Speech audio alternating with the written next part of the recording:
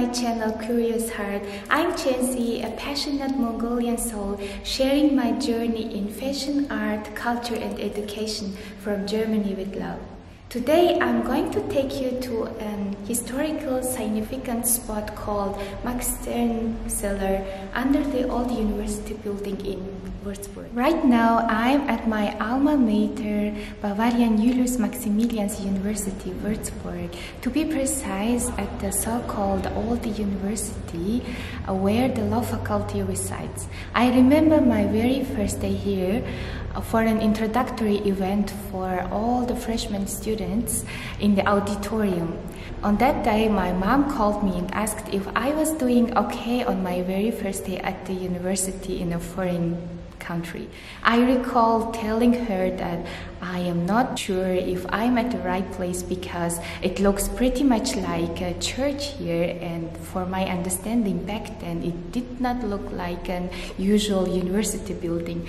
Compared to those initial days of my student life, now I am a very proud member of the Lawyers Alumni Association of the University of Würzburg and I am very happy to introduce you today on behalf of this alumni association a place with history in significance not only at the university but also in the city and the region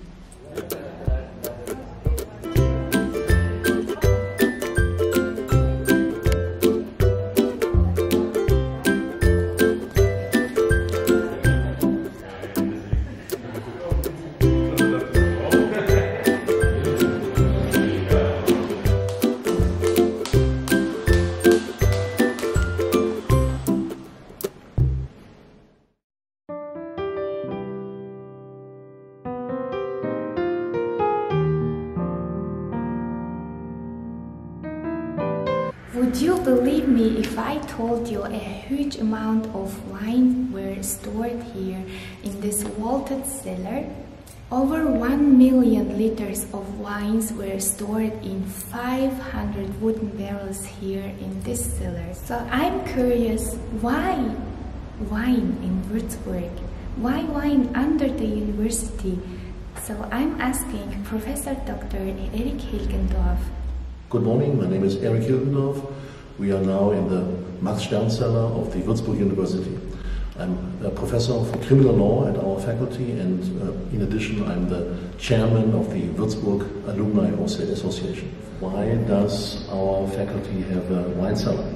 Well, this university is quite old. It was founded in 1402 and at the first time it was not so very successful for lack of money. Therefore, in the 16th century, the, the, Prince Bishop, who was in charge of the university, gave several vineyards to the university in order to support it financially. And this wine business was active until um, the 20th century, and then it was handed over to a Jewish wine merchant. His name was Max Stern. Max Stern was a well-respected businessman, philanthropist, and wine merchant in Würzburg. After his schooling and commercial apprenticeship, he went to work for his father's wine business. He took over the company in 1912, expanding it into one of the largest wine trading businesses in the region. He was named to the Council of Commerce during the late 20s and was granted a lease to use the basement cellars of the old university. He stocked 500 wood casks with about 1 million liters of wine in over 700 meters of wine cellars, the most impressive of which was called Receptorat with 24 casks holding 2,600 liters each. The chronicle of the Stern family was engraved on the bottoms of these barrels, which can still be seen today in Würzburg's Julius Spital.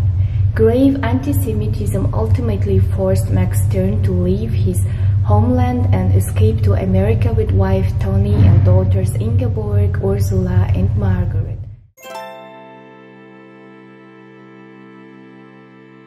Okay, some years ago I was dean of the faculty and at, at that time um, the mayor of uh, Würzburg invited Jewish refugees to come back to the city to see what has happened and what Germany is uh, like.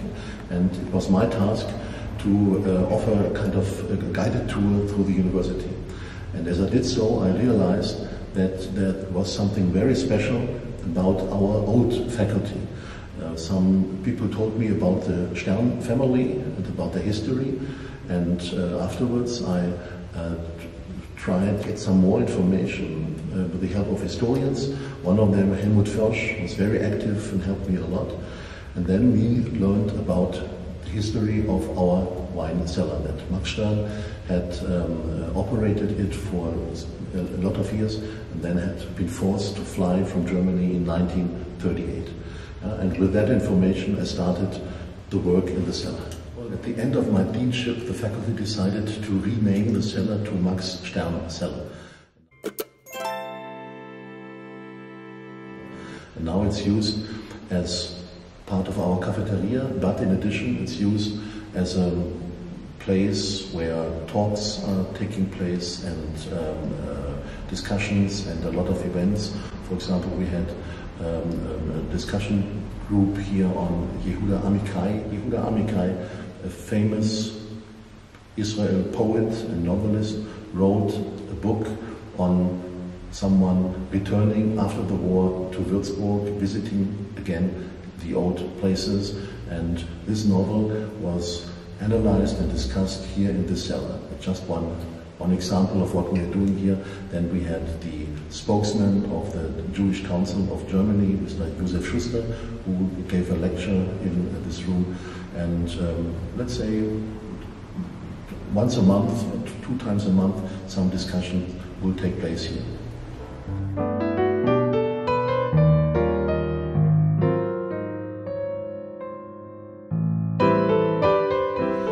during the Nazi area, a lot of Jewish students and um, young scholars lost the doctor title. And when we learned about that, uh, we decided uh, to give them the doctor title back. In 2010, there was a big celebration. Uh, we could even invite uh, some uh, uh, of them, and we gave the doctor title officially back to them. Of course, for many of them, it was too late, but at least in principle, we tried to restore their dignity. By the way, the most famous of these um, doctors from Würzburg was a very famous legal sociologist, Theodor Geiger.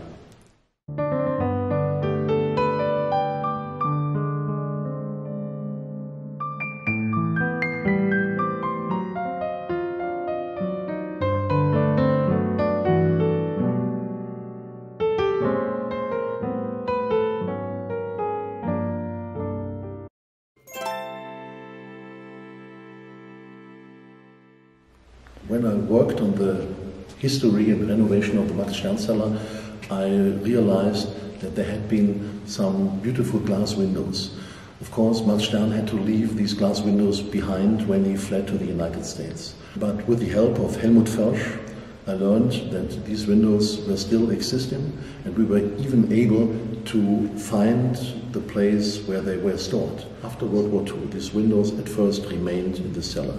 But then they were built in a private house, and in the 70s, this private house was destroyed and uh, the windows were taken out.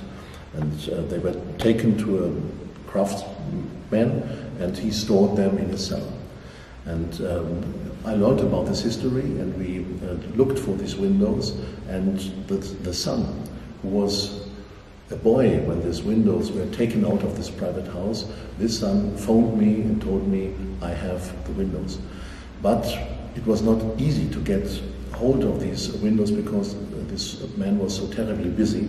And uh, in the end, it was my wife who convinced him to hand them over to me. She simply went to his place very early in the morning and told him, I would be very glad if you could give us these windows. It was quite expensive to fix the windows on the walls, but with the help of the Schulze Fielitz Foundation in Berlin, uh, we were able to get a small sum and then together with alumni money it was able to fix these windows on the wall and here they are now they are protected by special glass so there can be no um, uh, sabotage and no vandalism uh, but on the whole our students really like the windows so I'm not afraid that they could be uh, harmed.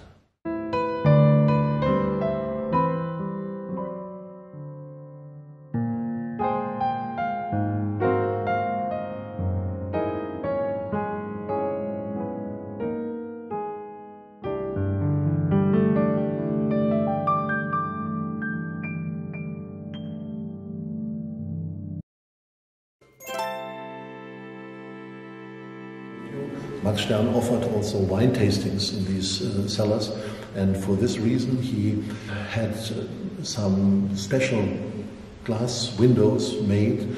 Um, they were not windows to the outside, but windows uh, that were inside the cellar. They were illuminated, and the idea was to give a special uh, atmosphere to these people drinking wine and feeling happy and so on. And uh, the names of the um, windows are the good husband and the bad husband, der gute Ehemann und der schlechte Ehemann. Let us begin with the bad husband.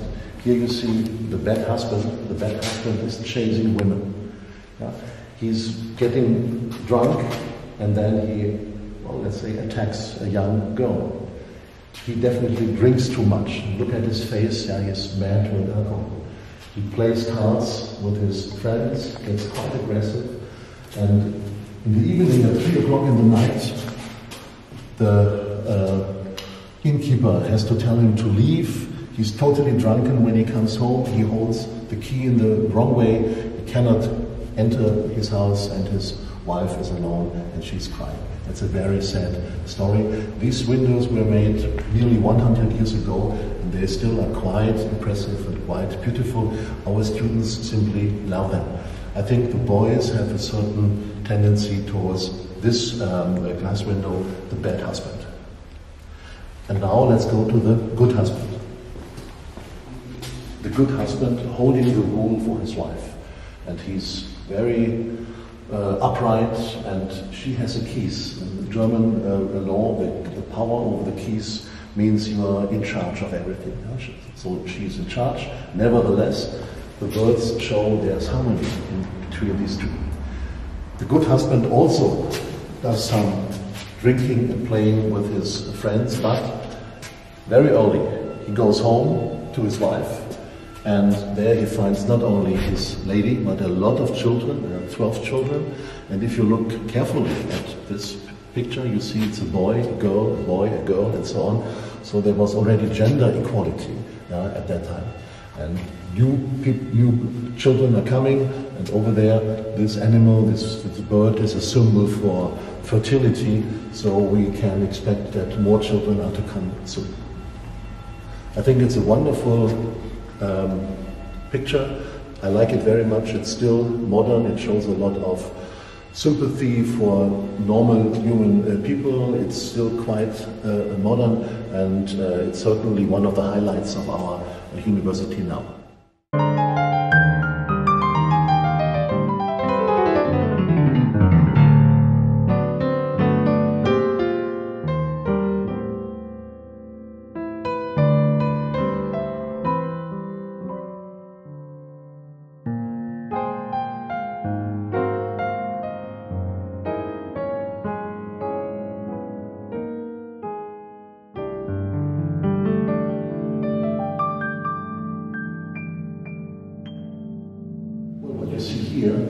Picture uh, by Jonathan Danziger.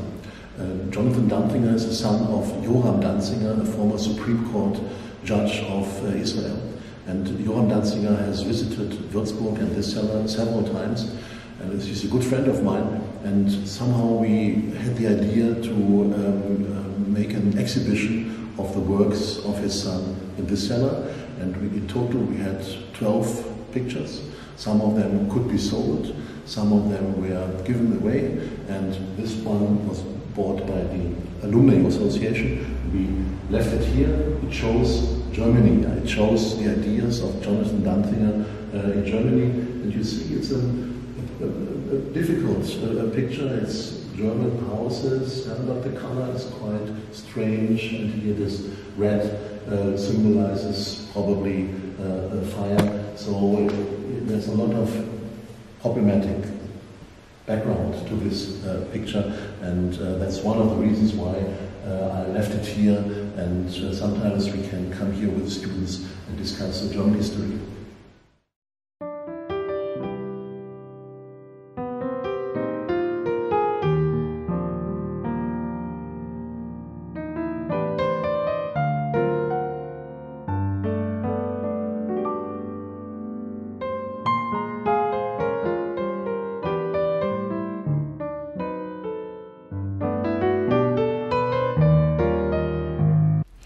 Thank you for watching this video. Thank you for being curious with me. If you loved this video and discovered something new, don't forget to give thumbs up. And if you have any questions concerning the Max Stern cellar, just leave a comment below in the comment section and I will see you in my next video. Bye bye!